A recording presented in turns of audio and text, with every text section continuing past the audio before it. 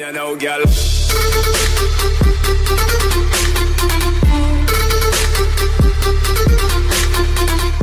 Cuộc sống ngoài đời của sao nhí 100 triệu view bỏ xa Sơn Tùng MTV Bé Bảo An có lẽ là đối thủ đáng gờm của Sơn Tùng trong Vbiz và sở hữu MV có lượt view trên YouTube khó ca sĩ nào vượt qua. Sau Xuân Mai thì bé Bảo An cũng là một trong những ca sĩ nhí vô cùng quen thuộc đối với các em nhỏ từ những cuộc thi âm nhạc trên truyền hình lẫn những MV dành cho thiếu nhi. Điều đáng nói là mỗi sản phẩm âm nhạc của Bảo An đều có lượt view siêu khủng, khiến bất cứ tên tuổi đình đám nào cũng phải choáng váng. MC xuất sắc xuất sệ của Bảo An đã đạt đến con số hơn 129 triệu view.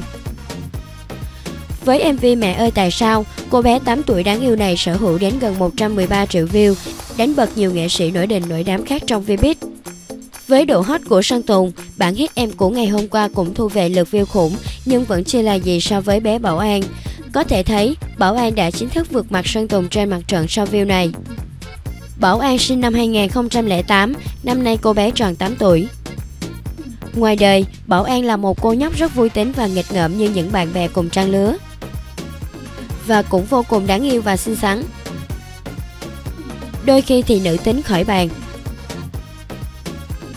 Dù nhỏ tuổi, nhưng bên cạnh việc học thì suốt ngày Bảo An đã phải đến phòng thu để thu âm. Cô bé phải dành nhiều thời gian để đầu tư vào sự nghiệp ca hát của mình. Thỉnh thoảng cũng tham gia những hoạt động vui chơi. Có thể thấy không chỉ xinh xắn, Bảo An còn được bố mẹ chăm chút cho gu thời trang sành điệu và đáng yêu. Trong giản dị và mộc mạc với những khoảnh khắc đi ăn uống cùng các em. Ở nhà, Bảo An là con ngoan trò giỏi. Bảo An khá thân thiết với Chí Thiện sau cuộc thi gương mặt thân quen nhí. Hai chú cháu ngoài công việc còn thường xuyên đưa nhau đi chơi. Xin chân thành cảm ơn các bạn đã dành chút thời gian để theo dõi kênh của chúng tôi. Nếu thích bất cứ video nào, các bạn có thể like và share. Nhưng đừng quên nhấp đăng ký kênh miễn phí để các bạn có thể theo dõi được nhiều video hấp dẫn khác từ chúng tôi. Xin chào và hẹn gặp lại.